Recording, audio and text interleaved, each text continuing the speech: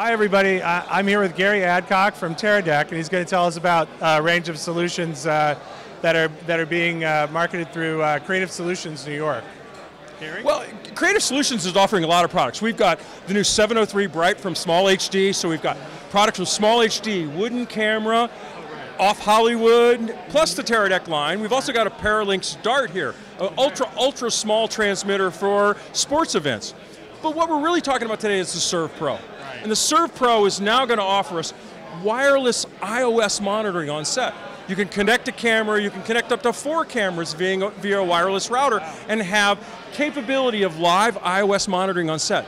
Now we can do things like have waveform, vector scope, plus images from four cameras on our devices in, you know, with a two or three frame delay. So for script supervisors, for wardrobe, for you know boom operators. We've now got this low cost thing where they don't have to look at a regular monitor and they can monitor on their normal iOS device. You can see from the Serv Pro, it's a very, very simple interface. I'm connected, I can show one of things here. I have one iPad connected. It's actually telling me what devices are showing on this. So it can actually see how many devices, even though I'm connected to a router, it shows how many devices are connected to this individual device. So it monitors it full time, all the time and it just shows you. It actually allows, I can actually choose between 1920, 1080 or 720 streams. I can actually even go on to SD if you need to. And the device will dynamically switch quality when you have more and more users on it to reduce the, it reduces the bandwidth to give you a higher concentration of users.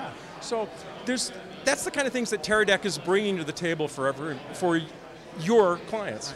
Is there a way to put uh, like a LUT or a look on the footage if you're sending log? The great part about the Serv Pro is that yes, it does have look. Inside the viewer app itself, we can actually do mine set up to do direct live grade control. So Pomfort Live Grade can directly access it like many of the other Teradek items. But you could put in a standard CDL or any 3DL LUT that's available. I was talking to somebody from NFL Films earlier today who's been doing stuff and he looks does ARRI looks in his, his Amira. So now they're loading the ARRI looks directly into the devices so they can do that. That's very cool. Well, it's, it's another way to simplify onset, complicated onset for people that don't really necessarily work in our industry. Right. So you can offer a graded look to anyone while still shooting log and maintaining a log signal. With the wireless technology with Bond, you can actually bond, bonding multiple SIM cards together to right. get a signal out.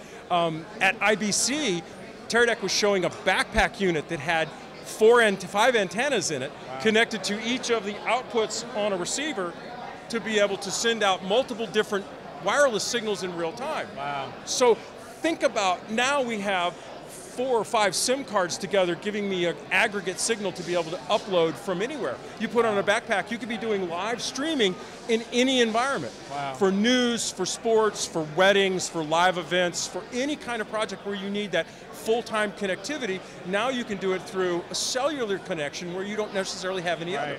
Or if you're work, if you're collaborating and working uh, with an environment like Frame.io, right. uh, for example, you could do it anywhere else. Yeah. So. Well, thanks so much for spending some time with us, Gary. It was great to meet you. Well, thank you for having me, and, and I want to say it's been really nice to have CCTE and here in Chicago. Abel's done a really nice job with this show. Thank you. Thank you very much.